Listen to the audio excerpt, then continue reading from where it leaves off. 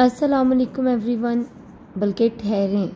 जल्दी से वापस आएँ। जल्दी से आप लोगों ने क्या तमाशा पकड़ा हुआ है? जल्दी से लाइक करें पहले, फिर इसे प्ले करिएगा। तो जी, आई होप आप लोगों ने लाइक कर लिया होगा। तो अस्सलाम वालेकुम एवरीवन, कैसे हैं आप लोग? आई होप आप सब लोग ठीक होंगे।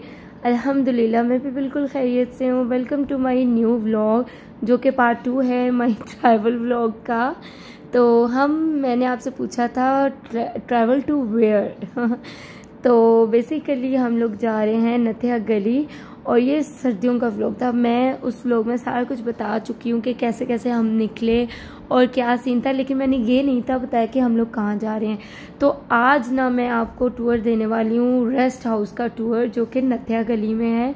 और ये क्या कमाल का, क्या कमाल का रेस्ट हाउस बना हुआ था।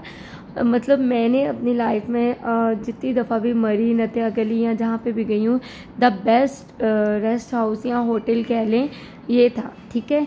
इससे पहले भी मैंने एक मतलब इससे पहले जहाँ पे हम रहे थे ना, वो भी अच्छा था। उसका मैंने अभी तक व्लॉग अपलोड नहीं किया। इंशाल्लाह व्लॉग अपलोड करूँगी तो वो भी आप लोगों को दिखाऊँगी।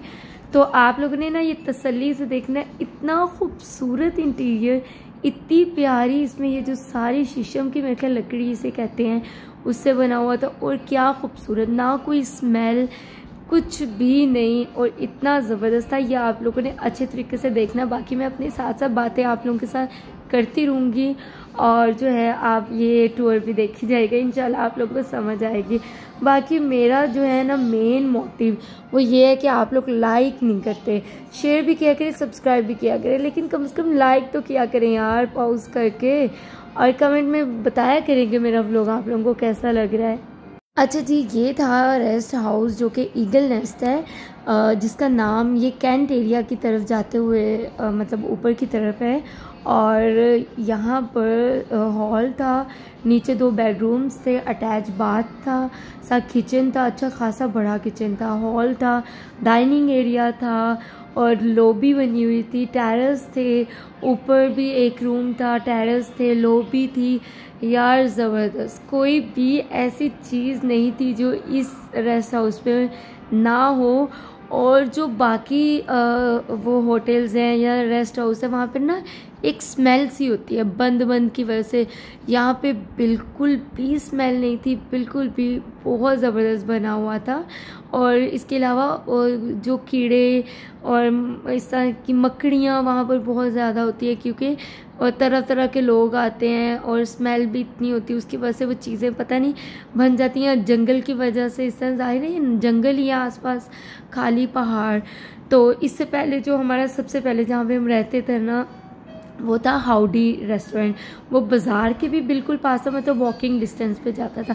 अच्छा ये वाला रूम जो था, मैंने और जुनेद ने रखा था। दूसरा रूम जुनेद के भांजा भांजी थे, उनका रूम था। मतलब हस्बैंड वाइफ लेकिन यहाँ की कुछ स्टोरीज इंशाल्लाह मैं आप लोगों के साथ नेक्स्ट ब्लॉग में शेयर करूँगी।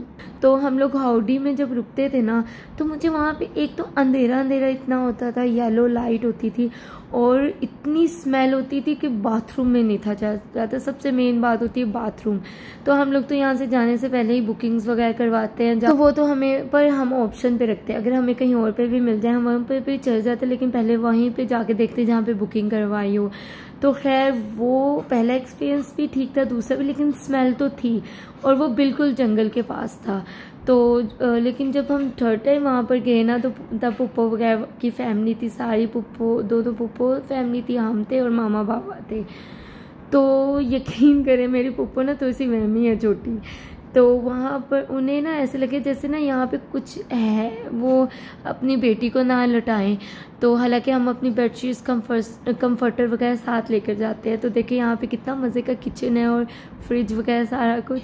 अच्छा खैर, वहाँ पर ना हमने स्प्रे मंगवाई। तो वहाँ पर जब हमने स्प्रे की ना तो उधर एक मकड़ी, फिर उसके अलावा वो जो कन खजूरा होता है, वो निकले। तो इतना खौफ हो गया कि हमने दस्ती वहाँ से दौड़ने की की। द बेस्ट प्लेस है वो वाली मेरी यहाँ इस रेस्ट हाउस में जो अभी वो तख्त सा बना हुआ है ना। बाकी अब मैं आपको ऊपर से भी टूर करवाऊँगी, वो आप देखें। अच्छा जी तो इसके बाद ना हम एक और रेस्ट हाउस में गए वो भी अच्छा बना हुआ था वहाँ पे स्मेल नहीं थी बस बाथरूम थोड़े से गंदे थे लेकिन हमें मतलब किचन की सहूलत ज़्यादा चाहिए थी बच्चे थे छोटे उनके लिए फीडर वगैरह और सो काम करने होते थे तो वो भी अच्छा था। उसका व्लॉग भी इंशाल्लाह मैं जल्दी डालूँगी लेकिन आ, ये जो है ना ये बेस्ट था लीव मी और ये बाज़ार से ना कम अज़ कम भी दो किलोमीटर के फासले पे था। मतलब हम वो ढूंढते हैं ना जहाँ पे कम अज़ कम हमें बाज़ार वॉकिंग डिस्टेंस पे हो। लेकिन जब चीज़ साफ़ सुथरी आपको मिल जाए, गाड़ी भी हो तो खैर है, गाड़ी पे भी चले जाना चाहिए, पर जो है ना आपको अच्छी जगह देखनी चाहिए। वो हाउडी के पास हालाँकि पार्क भी था, सारा कुछ था। लेकिन वो रेस्टोरेंट सॉरी होटल जो है ना वो रहने के काबिल नहीं था। ये देखें, वहाँ पे हम इजीली खाने वगैरह बना रहे थे और बच्चों का खाना इतना अच्छा रहा। फिर हमने चाय भी बनाई, चाय भी इंजॉय की साथ नेटफ्लिक्स भी देखा। हालाँकि तबीयतें हमारी फुल ख़राब थी। सिर्फ़ मेरी नहीं बच्चों की भी जुनेद की भी हर एक की। साथ साथ हमने अपनी चाय बनाई है। ये देख नेटफ्लिक्स भी चल रहे हैं यहाँ पे। ये माहौल है हमारे।